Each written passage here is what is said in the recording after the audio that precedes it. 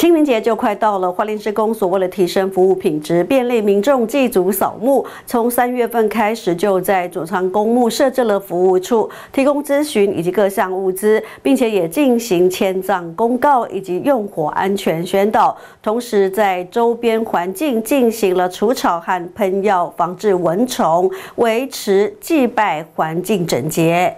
花莲市长魏家燕二号上午，在清洁队长吴庆展与殡葬所长陈柏兴的陪同下，前往左仓公墓关切蚊虫防治喷药作业。他表示，天气回温，杂草的生长速度相当快，而小黑蚊更是猖獗。希望透过事前的准备工作，提供民众更为整洁的祭拜环境。四月即将进入我们清明扫墓的这个一个时间哈，那呃，为了扩大服务，花莲施工所在这边有设立我们的一个服务站，那在这边也。也麻烦大家，只要有目击的一个查询，或者是迁葬的一个事宜。或者是救护站，那甚至于说我们的一个防蚊液的提供跟矿泉水，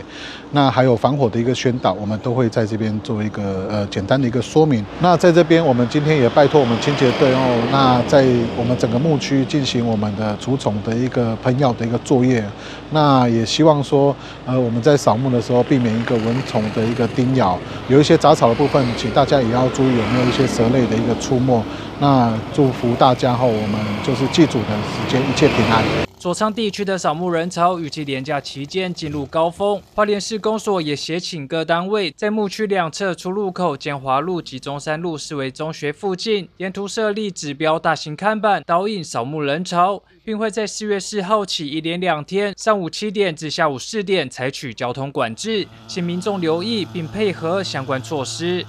记者徐立晴，花莲市报道。